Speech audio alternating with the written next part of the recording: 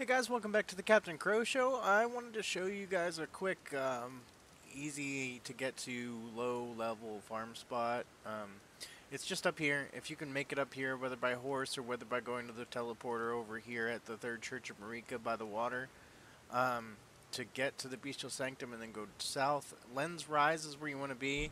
It's right next to this tower over here. But uh, this is a great spot to go and get um, souls or runes or whatever you want to call them at a low level. Um, so just hop on your horse and run down here. It's pretty simple. Oh yeah, and occasionally you get these runes, uh, golden runes that'll pop up on your path and spawn. Um, otherwise, you know, just spawn that, run to the side real quick, let that roll off the cliff, watch it to make sure it gives you some points, and there's a 2k runes right there just easy peasy.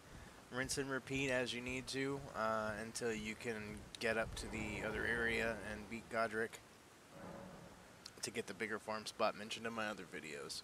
Thanks for watching. This has been a quick tip with the Captain Krowe Show.